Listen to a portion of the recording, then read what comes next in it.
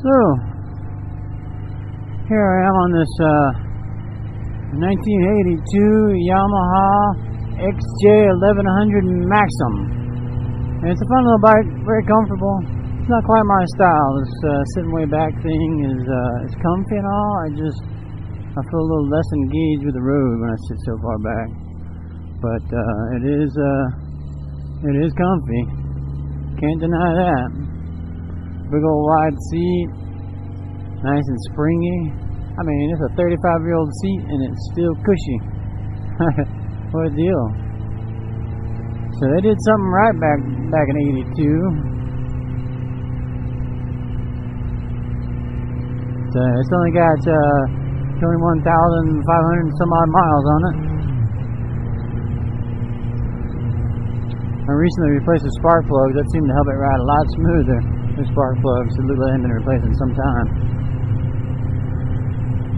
Still needs a little bit of carb work though. It idles high and uh, I think it's burning more fuel than what it should be. And this thing doesn't, supposedly doesn't give about 30 miles a gallon anyway. With a little bit of carb adjustment, I don't know what I'm getting. Um, at first thing, I did a lot of idling and and uh, testing stuff out, so I can't really count the first tank as any kind of fuel economy. Um, but I mean, here I am with uh, 45 miles on it, it's already two bars down. I don't really know what that means. It's a six gallon tank, and the last bar was uh, was trying to disappear on me, and I, I still had two gallons in the tank. So I don't know.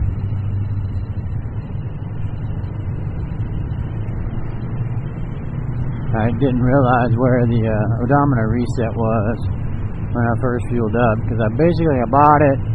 Uh, it low on fuel, so I filled it up and rode down 26 a little bit, just kind of test it out. Um, look at that nice view down there.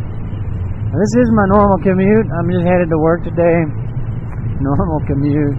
Um, some people might be a little jealous.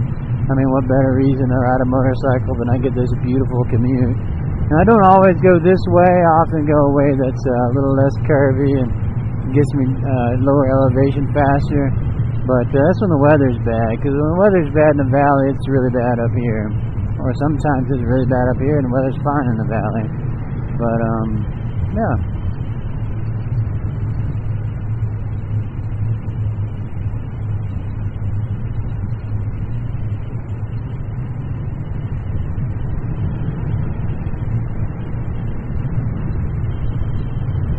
One thing I do find interesting with the bigger bike is I don't feel the need to go fast.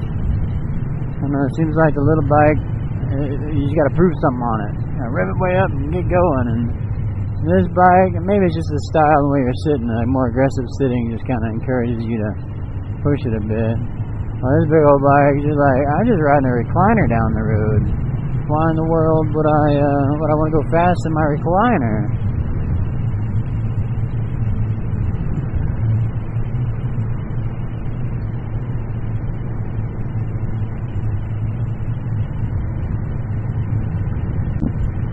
Well, this is um, this is Bald Peak Road. I'm here at a stop sign. I'll uh, I kind of take a left.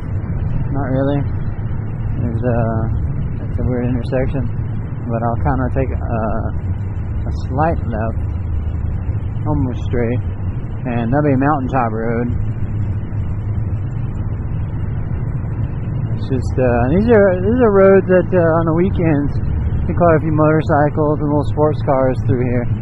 The speed limit is 55. You see, I'm only doing 40, 45 right now. Um, just because most people don't go 55 on this road. It's it's hard to the curves, but that's the speed limit. So, uh, what better way to have a little fun, not breaking any limits, by coming up to a very curvy road with a decent speed limit? So, I, I know on Sonus, I'll uh, I'll often come through here at 50, 55 just having a good time. But I also try not to do that in the morning because I know I'm not quite quite alert enough. And uh, and in the morning too, more likelihood of animals wanting to jump out and go across.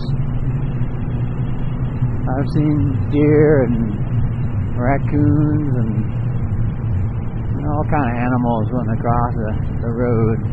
Don't ask me why. Don't ask me why they're crossing the road, but they went across the road, and uh, I don't really want to stop them.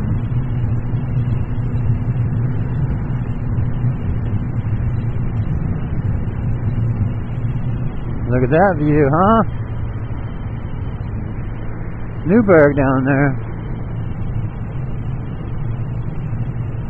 I think they put a winery in over here. I mean, who else has a fancy gate like that? So here's this intersection I was talking about. I mean, it's still just a, a four-way intersection, but you got two straights and left. So I'll take this slight, slight left.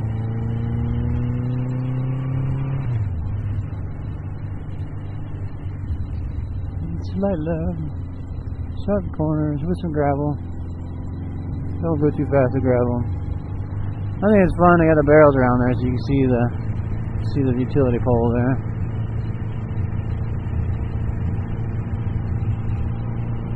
Nice view for those people. If I left it on there long enough, try to show the view and drive safely. Oh yeah, the clutch needs to be adjusted. So one of the things I know is the carb adjustment. Um? Carb adjustment uh, clutch adjustment. That's probably about it, really.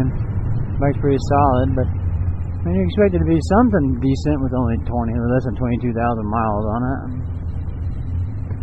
Supposedly, the uh, the first owner, I say supposedly, it's there's evidence to back it up. First owner came from Georgia. Well, not the first owner, the last owner came from Georgia. He he rode uh, he rode the bike from Savannah out here to Portland. I don't think he took the direct route. I think he kind of tooled around a bit and had a good time.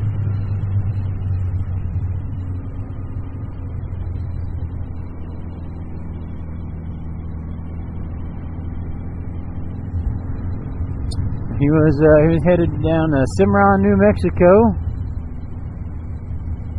and uh, he only had a couple weeks to get there. He wasn't sure how to get the bike there, so uh, he sold the bike. He's going down to Cimarron, New Mexico to work at the, the trading post for uh, Philmont Scout Ranch.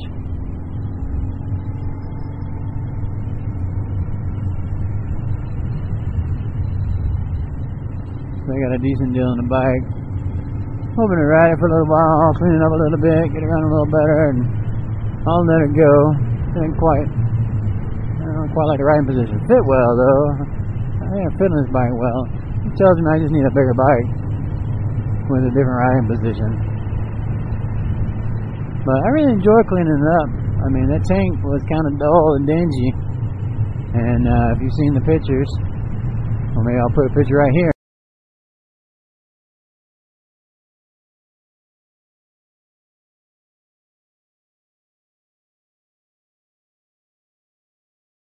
Uh, quite shiny now.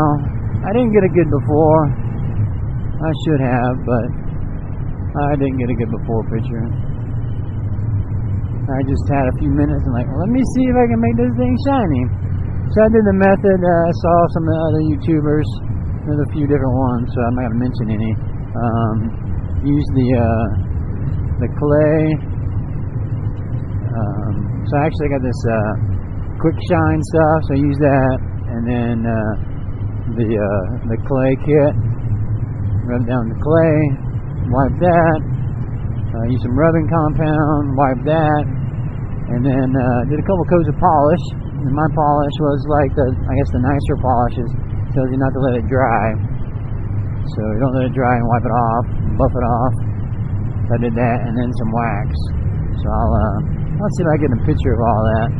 You can see the stuff I used um, yeah, to make this thing shiny. And then if I do is uh, if I do buy an older bike and clean it and try to sell it again, I'll I'll, I'll try to get some good before and afters. It, seems like a neat idea. I get to ride different bikes. I can ride different bikes and maybe make a dollar or two buying and selling.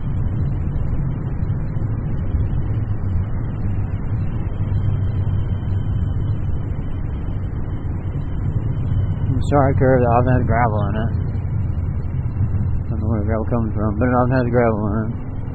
No gravel today. That's nice. Yeah, I don't ride this bike very much. Uh, I want to keep her shiny for one thing. Although yesterday the my my road was a little muddy still, so I got a, a little bit of shining to do. But um, yeah, and it doesn't have ABS. I like that ABS. And the front brake, you gotta kind of gotta kind of get your handful of it to to stop. I like that a little more sensitive on my newer bike. I hear something. There's a car leaving.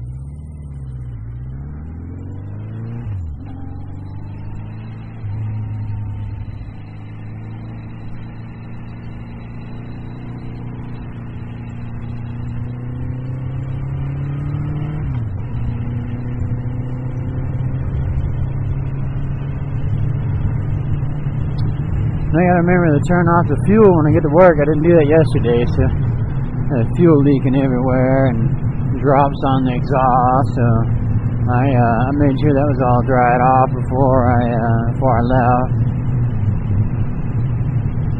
Then we'll have flames shooting out the back.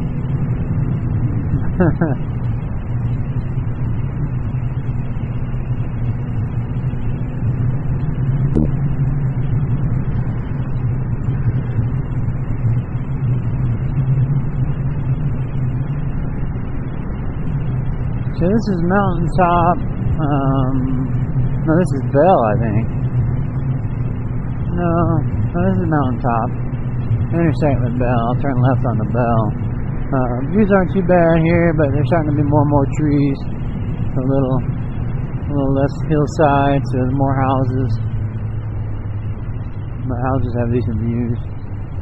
This is the tightest corner I got, I think. Got a little swoopy swoopy.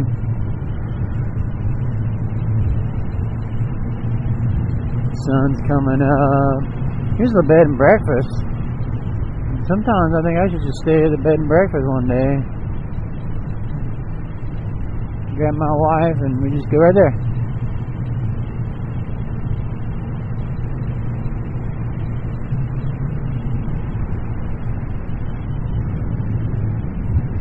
Sun is bright. Get my shades on. Mm, my shades are dirty. Not that bright, I guess. Little debris the road and uh, gravel and dirt in the road. But yeah, this bigger bike, a little more stable, a little more secure in the in the cornering, definitely more secure just heading down the highway. There's another visor I can put on it. Uh, I'm gonna I'm gonna do that here in a little while and ride a bit more and see what I think about the big visor. I bet I'm gonna like it, but I wonder how much fuel economy it'll cost me. Although right now I don't know that I'm getting much fuel economy anyway, so maybe it just doesn't matter. Now these blinkers are a little different. You push them down, I got used to my bike, I just push them, and it's easier. You push, push, done.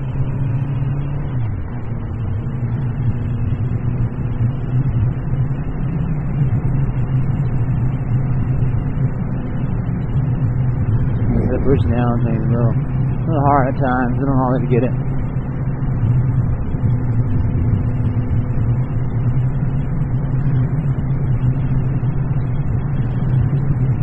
Also used a clock being on my instrument panel.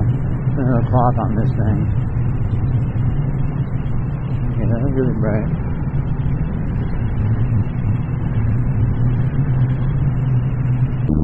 It's 45 through here. The sun's so bright, not a bad idea.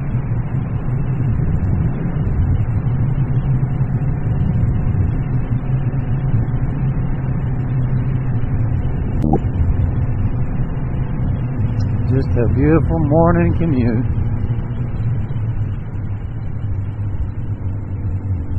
Up over the hill, blinded by the light. I won't start singing.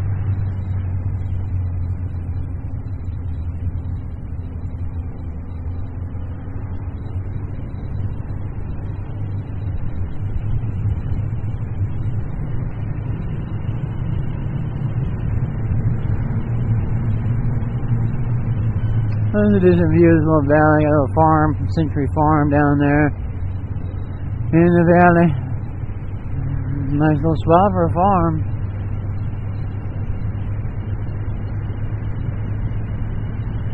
So in case you wonder, Century Farm, it's uh, something you can get from the state if the farm's been around for 100 years or more.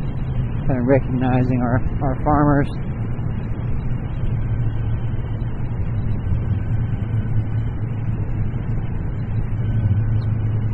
Don't seem to have a lot of a lot of good working family farms. They're becoming rare.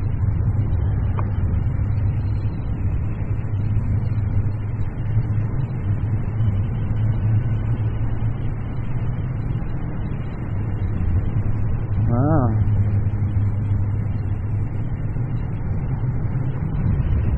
I thought it was gonna be shady through here. And it, it bright.